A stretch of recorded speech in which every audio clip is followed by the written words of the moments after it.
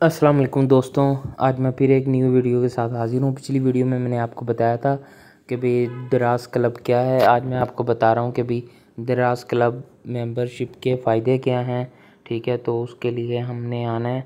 इस टाइम मेरा status non member में है, ठीक है? उसके लिए हमने यहाँ पर आना है। व्यू बेनिफिट्स पे क्लिक करना है। उसके बाद ये देखिए नॉन मेंबर में जो है आपको सिर्फ़ जो एक बेनिफिट मिलता है earn coins on every purchase to become a member of Daraz club. यानी कि वो कहता है, हर परचेज पर आप यानी कि कॉइन्स इकट्ठे करो और दराज क्लब मेंबर बनने के लिए जस्ट ठीक है? तो आप मेंबर बनोगे तो उसके बाद बेनिफिट शुरू होंगे। अभी तो फ़िलहाल कोई बेनिफिट नहीं मिलने वाला, ठीक है? तो उसके बाद ये जो क्लब मेंबर्स में अगर आप यानी कि क्लब मेंबर बन जाते हो तो क्या बेनिफिट्स हैं आपको? ये चार किस्म के आपको बेनिफिट्स हैं। रिडीम कॉइन्स यानी कि आप जो है अपने कॉइन्स को रिडीम कर सकते हो एट दी चेक आउट के टाइम यानी कि जब हम ऑर्डर कर रहे होते हैं, वहाँ पर अपने आप फाइनल जो है ऑर्डर करते वक्त पेमेंट में कॉइन्स को यूज़ करते हुए मज़ीद डिस्काउंट ले सकते हैं। अभी हम आगे चल के देखेंगे, हम एक ऑर्डर पे मैक्सिमम कितना डिस्काउंट ले सकते हैं और कितनी बार हम कॉइन्स को यूज़ कर सकते हैं। ये सारी बातें हम, मैं आपके साथ अभी शेयर करूँगा। उसके बाद दराज क्लब मेंबर का एक और बेनिफिट जो है, वो ये वाला स्ट्रीट कॉइन्स अर्निंग यानी कि जब आप क्लब मेंबर बन जाते हैं तो कॉइन्स भी आपके बूस्ट लगता है, ठीक है? उनको भी, यानी कि अगर एक रुपये पे आपको एक कॉइन अगर मिलना है बिलफर्स तो आपको एक रुपये की जगह दो कॉइन्स मिलते हैं, ठीक है? उसके बाद मेंबर्स एक्सक्लूसिव डिस्काउंट वाउचर्स मिलते हैं। मेंबर्स को ख़ास तौर पे अलग से वाउचर्स मिलते हैं और earn coins on every purchase यानी कि कॉइन्स मिलते हैं हर ख़रीदारी पर, ठीक है? तो अब हमने ये वाला देखा, उसके बाद हम नेक्स्ट में देखते हैं। ये व्यू बेनिफिट्स हमने कर लिया था और इसमें क्या है लॉयल्टी क्लब में, ठीक है, उसके बाद हम नीचे कॉइन हिस्ट्री में देख लेते हैं। तो मैंने कितने यानी कि कमाए हैं, अभी तक अर्न का मतलब यही होता है कितने कमा चुके हैं। अभी तक ज़ीरो कुछ नहीं कमाया मैंने, ठीक है। रिडीम्ड कितने, इस्तेमाल कितने कर लिए हैं, कुछ नहीं ज़ीरो है अभी तक। एक्सपायर्ड कितने हो गए हैं ज़ीरो कुछ नहीं एक्सपायर हुआ। जब कमाई नहीं है यूज़ ही नहीं किए तो एक्सपायर भी कुछ नहीं होगा, ठीक है? उसके बाद हाउ टू अर्न कोइंस अब हम इसको देखते हैं कि भाई कैसे हाउ टू अर्न कोइंस करने हैं हमने। ठीक है? हाउ टू अर्न कोइंस में आप देखें, ये देखें place an order earn coins ठीक है? उसके बाद आपने यानी कि वो कहते हैं how to become a member of Daraz club ठीक है? Place a minimum of two orders of ten thousand or more collect ten thousand coins congratulation you are are now member of Daraz club ठीक है? दस हज़ार रुपये के coins आपने, यानी कि दस हज़ार की खरीदारी पर दस हज़ार आपको कॉइन्स मिल जाते हैं तो आप मेंबर बन जाते हैं आप, ठीक है?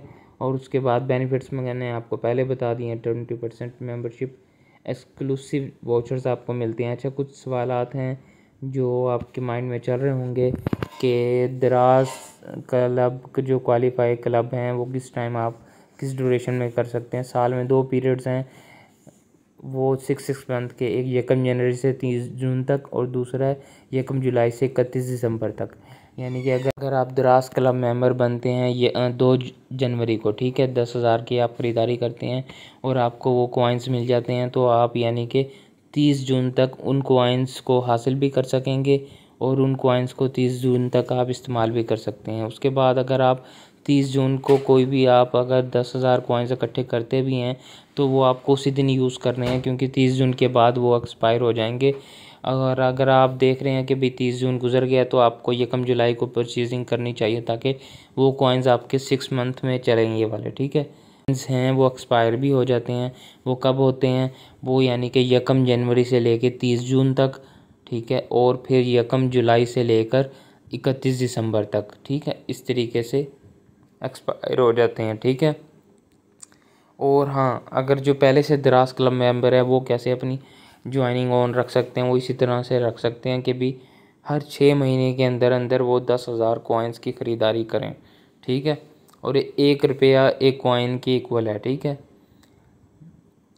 अच्छा और उसके बाद मैं आपको दिखाता हूँ कि हाँ एक अहम चीज़ के आप कितना मैक्सिमम डिस्काउंट ले सकते हैं एक ऑर्डर पर कॉइन्स के ज़रिए? वो इन्होंने यहाँ पर ज़्यादा नहीं लिखा हुआ, लेकिन मैं आपको फिर भी बता देता हूँ। आप कितना डिस्काउंट ले सकते हैं? वो आप एक सौ साठ रुपये का डिस्काउंट ले सकते हैं। एक हज़ार से अबव ऑर्डर पर, ठीक है? एक हज़ार से ज़्यादा का आपका ऑर्डर होना चाहिए तो आप जो है एक सौ साठ रुपये का तक का मैक्सिमम डिस्काउंट ले सकते हैं।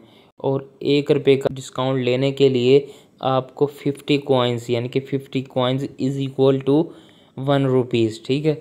और एक रुपये की परचेजिंग करने पर आपको एक कॉइन मिलता है। यानी कि अगर आप सौ रुपये की, यानी कि कोई ऑर्डर प्लेस करते हैं तो आपको सौ कॉइन्स मिलते हैं। और जब at the time of checkout यानी कि at the time of order placing तो आप यानी कि हासिल कर रहे होते हैं फिफ्टी कॉइन्स के बस सिर्फ़ एक रुपया आप हासिल कर रहे होते हैं तो ठीक है। तो ये थी सारी डिटेल तो आपको मैंने सब कुछ बता दिया है। अगर आपका फिर भी कोई सवाल है तो आप नीचे कमेंट सेक्शन में लाजमी मेरे से पूछें, मैं आपको क्लियर कर दूँगा। तो और भी कोई आप दराज के मतलब कोई सवाल पूछना चाहते हैं तो वो आप कमेंट में बता दें, मैं उस पर आपको वीडियो बना कर दे दूँगा। और भी इसके अलावा भी आप मेरे चैनल पर जाएँ और दराज की प्लेलिस्ट देखें, वहाँ पर मैंने जितने भी दराज से रिलेटेड कोई भी आपका क्वेश्चन है पेमेंट का इशू एरर है, वो सब मैंने बताए हुए हैं। वो दराज की प्लेलिस्ट पर जाके आप देख सकते हैं, आपका इंशाल्लाह मसला हल हो जाते हुए चैनल को सब्सक्राइब कर दें वीडियो को लाइक कर दें। तो इंशाल्लाह नेक्स्ट वीडियो में मुलाकात होगी, जब तक के लिए मुझे इजाज़त दें, अल्लाह हाफिज़।